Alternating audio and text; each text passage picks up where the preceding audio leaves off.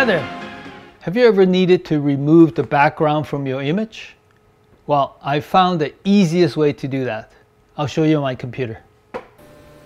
While creating our thumbnail for yesterday's video, Learn Mandarin by Singing, I discovered this really interesting website. It's called remove.bg. It stands for Remove Image from the Background and the web address is remove.bg. So basically, you just go here, click the upload image, and then you find the image that you want to remove. As you can see, uh, Pat's image got her sofa in the background. What I want to do is to, you know, remove the sofa, just remove everything from the background. It just looks more polished that way. And simply, I just upload it and voila! It does everything on its own and the background is removed. That's as simple as that.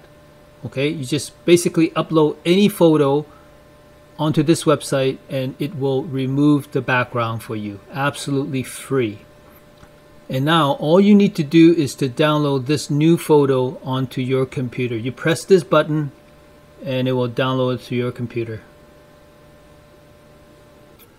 So when it's uh, downloaded, you just go to your drive and there it is, the new photo without the background.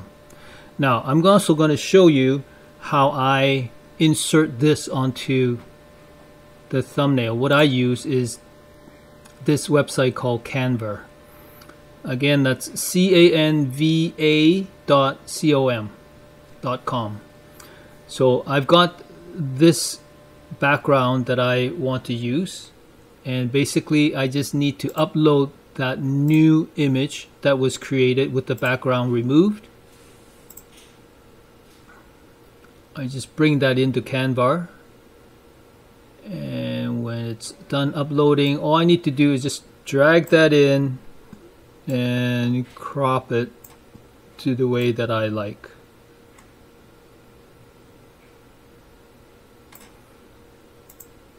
That's it.